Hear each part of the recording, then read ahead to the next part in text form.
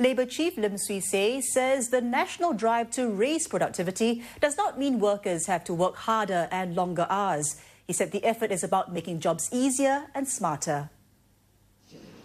The Labour chief reassures that future growth will not be at the expense of workers. Then the question is how? How can we succeed? From the Labour movement perspective, there are three how.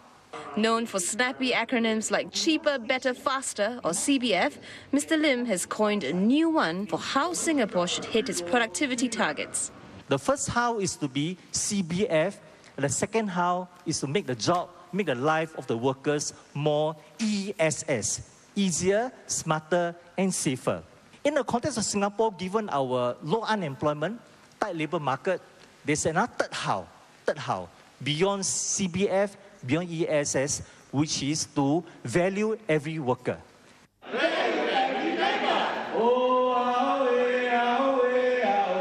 One group singled out for more support is the elderly. The Prime Minister has called for a practical approach to allow as many as possible to work for as long as possible. Unionists say most workers want to continue working past retirement, even into their 70s, and not just because they have to, but also because they want to. The incentives are there, the bonuses are given to good performers because it's performance based. So uh, there's no short change for re employed workers.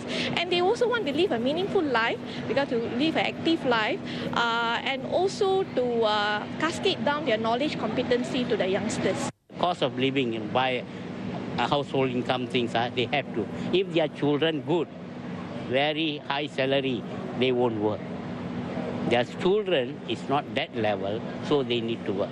Out of 10, uh, I believe 7 willing to work and 2 is just want to end up to be uh, relaxing at home after they are retiring.